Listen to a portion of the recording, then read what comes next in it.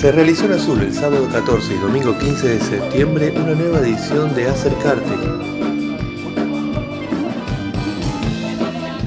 Con entrada libre y gratuita, a que concurrieron aproximadamente 6.000 personas que pudieron disfrutar de espectáculos infantiles, biblioteca, de circo, de cine, de cine 360 grados, el show de los heavy audios y los casurros, stand-up con Martín Pugliese y Eduardo Calvo con su personaje Re Heavy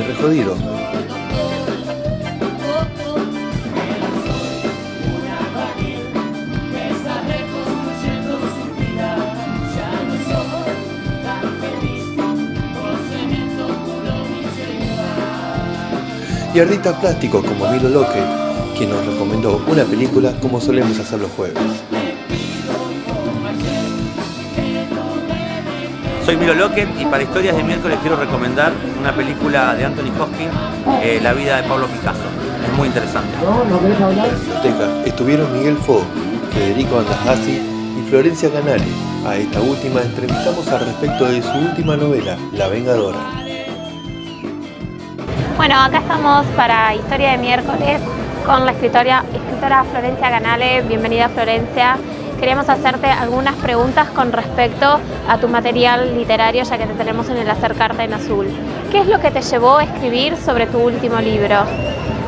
Eh, mi última novela, que se llama La Vengadora, que es la vida de Damasita Boedo, la amante de Juan Lavalle, de General Lavalle. Eh, me, digamos, me supe de su vida a raíz de parte de mi investigación por mi trilogía de rosas. En la segunda parte de, mi trilogía ya había aparecido Damasita porque, bueno, era la amante de... Es la, la última, digamos, la mujer que lo ve por última vez a Lavalle con vida. Eh, Lavalle fue uno de los eh, enemigos más importantes de Rosas. Eh, Dentro de lo que es la disputa de unitarios y federales. Exactamente, exactamente. Entonces, bueno, eh, ahí apareció, ¿no? Este, es quien acompaña los restos de la valle hasta Bolivia, además. Eh, yo en una entrevista que hace unos años le hice a Felipe Piña, se la nombré, no sé muy bien por qué, se la habré nombrado, y él me contó su vida, me contó una anécdota muy especial que parte de la novela es importante, por eso se llama La Vengadora. Eh, y bueno, me, me, quedé muy impresionada por lo que me contó, me dijo vos tendrías que escribir la novela y aquí estamos. Acá estamos con La Vengadora ya en todas las librerías. Tiempo, pero ahí está. Sí, sí. Eh, Florencia, ¿qué es lo que te lleva a vos a escribir sobre historia? No solamente sobre esta historia del amante de la valle, sino también sobre Rojas. Yo particularmente soy profesora de, de historia, enseño mucho Rosas en los profesorados eh, y me resulta una figura muy atrapante. ¿Qué viste vos en el siglo XIX de nuestro país que te lleva a escribir sobre esto? Todo. Me parece que el siglo XIX es el siglo, o por lo menos yo lo veo así, más épico, donde estaba todo por hacerse, donde, bueno, los hombres mantuvieron sus ideales, lo pudieron llevar a cabo, algunos más, otros menos. Bueno, me parece el siglo más épico, más romántico de todos y, donde estaba todo por hacerse.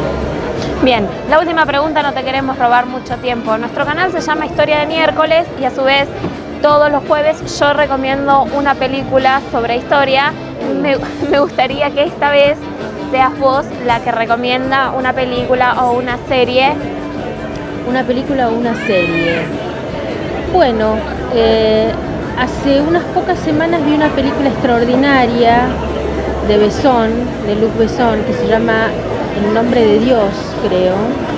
No es, digamos, sí es un caso verídico, podríamos decir que es histórica, es de 2014, en Francia, que tiene que ver con la iglesia y el abuso deshonesto y la pedofilia. Es una película extraordinaria, no es de historia, digamos, no es histórica, histórica, pero bueno, históricas todas, yo recomiendo todas, digamos, este, y series, a ver, eh, hay una serie que es muy vieja ya, este, de hace unos años, pero que me parece extraordinaria, que se llama Isabel, por supuesto sobre Isabel la Católica y Fernando de Aragón, ¿no? los Reyes Católicos, eh, española, Eh, creo que está en la plataforma de la televisión española, gratis incluso.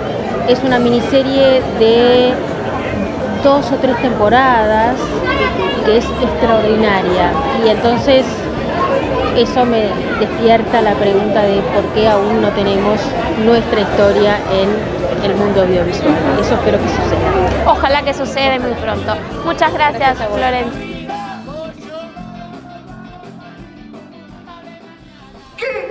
Sucede?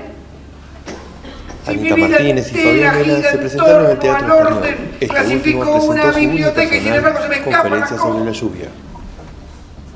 Una conferencia es un laboratorio mental, cambia el clima. ¿Será por eso que se En el escenario principal se presentaron los Tequis y Capanga, con quienes estuvimos charlando.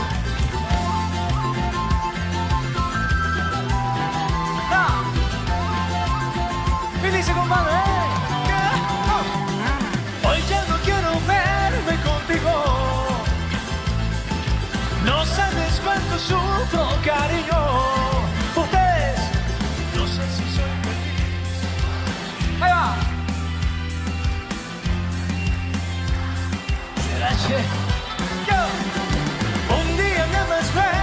Bueno, un gusto de que estén en Azul. Soy Angie Leviña de Historia de Miércoles. Eh, un canal de YouTube sobre historia y bueno, qué buen, mejor que tenerlos a ustedes que son representantes de la cultura más tradicional de nuestro país. Bueno, la verdad que para nosotros es una alegría que nos hayan convocado, poder traer nuestra música. Ya hicimos que la lluvia pare, así que se está acercando la gente. Así que bueno, con muchas ganas de subir al escenario y compartir con, con todos los que estuvieron aguantando la lluvia y que ahora están regresando. Sí, sabemos que hay mucha gente que igual con lluvia iban a venir a verlos. Sí, la verdad que es el cariño que siempre la gente nos brinda y uno, uno, uno es muy agradecido de todo eso. El público realmente nos trata muy bien en todo, a todos los lugares donde vamos y nosotros lo disfrutamos mucho. Sabemos que están por cumplir 25 años del lanzamiento de su primer disco. Eh, tienen, Oiga, pero claro, no te sentí mal. no, pero parece que lo grabaste de bebé en el jardín de Como te quiero. Eh, pero tienen algo planeado eh, para ese evento, para esa fecha. La verdad que no, no, no hemos pensado en nada. Siempre creo que lo importante es poner la cabeza en las canciones, en, en tratar de mejorar el show. Y no queremos pensar, porque nos deprimimos cuando pensamos que ya hace 25 años que estamos juntos recorriendo todos los festivales. Más, creo que son más de 25, ¿eh? Sí, Por sí. eso no dije nada, yo de acá. No, no, sí, no, tienen como grupo más, pero 25 años del primer disco. Claro. Sí, creo. Por eso no le corregí, por eso no le corregí yo, la, la dejé pasar. Eh, ustedes eh, marcan parte de la cultura de nuestro país. Eh, ¿De dónde toman la inspiración para seguir siendo pioneros en la construcción del folclore? No, creo que inspiración, nosotros venimos de un lugar donde se respira eso todos los días. Jujuy la cultura está todo el tiempo presente, desde, desde que uno es muy chiquito, cuando llega el mes de agosto, que hace muy poquito pasó, que es el mes de la Pachamama, se sauman las casas, se le agradece la tierra, tiene que ver con el ciclo agrícola y cuando llega el carnaval este, es la celebración de la cosecha. Nosotros vivimos de esa manera, este, igual con el éxodo jujeño, ahora próximamente en septiembre la fiesta de los estudiantes. Hay muchas cosas que son muy aferradas y que uno se cría con eso, entonces simplemente nosotros nos subimos al escenario y transmitimos lo que nosotros vivimos.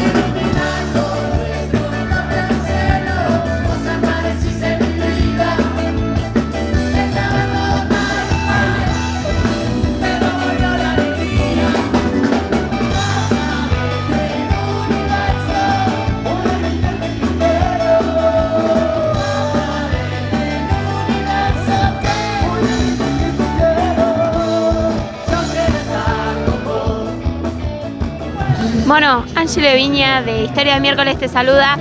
Siempre hablan en sus entrevistas de lo revolucionaria que es para ustedes la música y sus creaciones. ¿Cómo viven esto de estar todo el tiempo tan cerca de su público? No sabemos cómo de otra forma. Hace 24 años, yo 20, sí, un poco más. Bueno, ponemos 24. La mitad de mi vida haciendo esto, tengo 50. Eh, No sé cómo de otra forma. Sabría decirte, no, es distinto de una forma, es distinto como lo viven algunos artistas a como lo digo yo.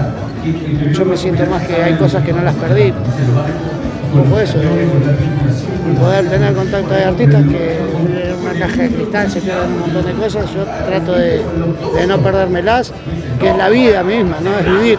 Hay muchos que, que terminan encerrados en la habitación de un hotel, los traen, los esconden, ¿viste? ¿Sabes de lo que te digo? Sí, además habla también de tu compromiso social con lo que estás haciendo. No sé si compromiso social, yo le devuelvo un poco lo que la gente me, me brinda a lo largo de tantos años, ¿no? Es cariño, amor, son cosas que no, no- no tienen precio de, de dinero. Una muestra de cariño, un afecto, un beso, una caricia, no, no se compran ni se pagan, solo la generan las canciones, por lo menos a nosotros nos pasa eso. Entonces, lo mínimo que podemos hacer es estar cerca del público.